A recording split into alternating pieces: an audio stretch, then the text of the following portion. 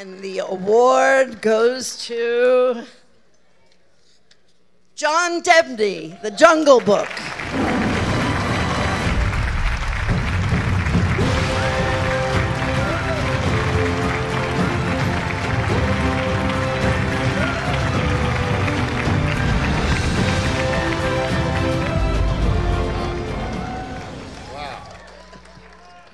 That, uh, I, am truly surprised. Uh, thank you so much, uh, Hollywood Music and Media. You guys, I've grown up with you a bit, and I've seen this thing grow from something very small to something very beautiful and big and huge.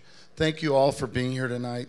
I, I am humbled by everyone that's in my category. They're amazing composers, and I just want to thank a couple people. I know it's getting late.